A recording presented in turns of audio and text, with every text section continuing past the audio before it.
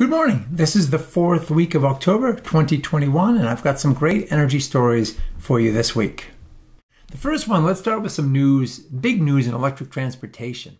Just four months after exiting bankruptcy, Hertz Global Holdings announced it is ordering 100,000 Tesla Model 3s to be delivered over the next 14 months as part one of its plan to electrify its rental car fleet. Hertz will offer the Model 3 sedans in major U.S. markets and areas in Europe beginning in early November. And customers will be able to access Tesla's network of superchargers as Hertz builds out its own charging capabilities. The purchase is said to be worth an estimated $4.2 billion for Tesla. This ought to help EV sales really move along. There's no better way to sell electric vehicles than to put, as they say, butts in seats. EVs are better technology. They, they accelerate more quickly, they handle better, they're just better cars as long as you don't have the range anxiety issue, which the supercharger network helps. So this should give a whole boost to the entire industry and certainly to Tesla in its retail markets. Whether it's Tesla or other EVs, more cars will need more batteries.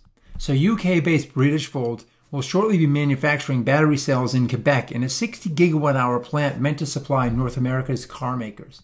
The plant will include an R&D center, an anode and a cathode processing facility as well, and Britishvolt is eyeing, quote, a strategic location, unquote, with access to a deep water port, railway connections, and renewable energy. And Hydro-Quebec, with its large hydro reservoirs, certainly has plenty of hydropower.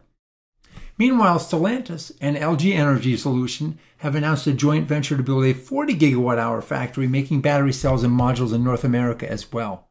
This will be operational by Q1 of 2024, and the factory will supply Stellantis vehicle plants in the US, Canada, and Mexico with battery models for both pure electrics and hybrids.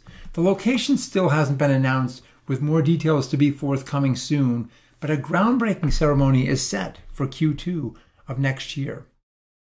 Meanwhile, overseas, Taiwanese contract manufacturer Foxconn, the guys who make our iPhones, they announced three internally developed prototype EVs the Model C SUV, the Model E sedan, and the Model T city bus under the Foxtron brand. Foxtron, in turn, is a JV between Hon Hai and Chinese carmaker Yulon Motor.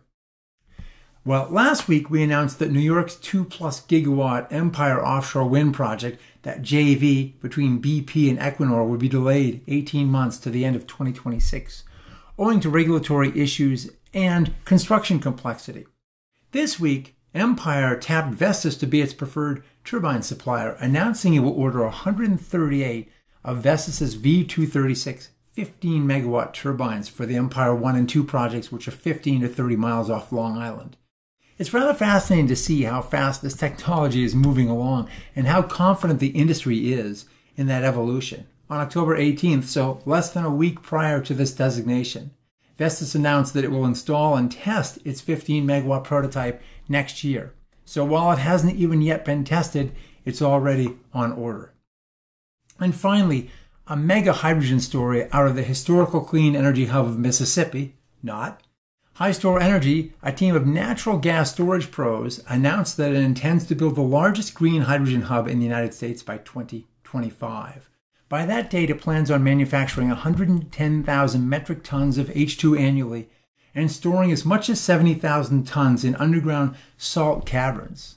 For reference, this project is 10 times larger than the $1 billion Magnum Mitsubishi Advanced Clean Energy Storage Project in Utah that's also planning on a 2025 start date. HyStor Energy won't offer a price tag, but the company does have the underground storage development shops, having developed over $3 billion worth of gas storage projects that hold approximately 100 billion cubic feet of gas.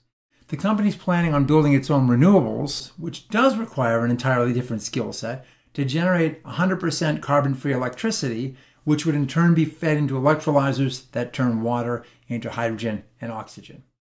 Well, those are your energy stories for this, the fourth week of October 2021. Thanks for watching, and we'll see you next week.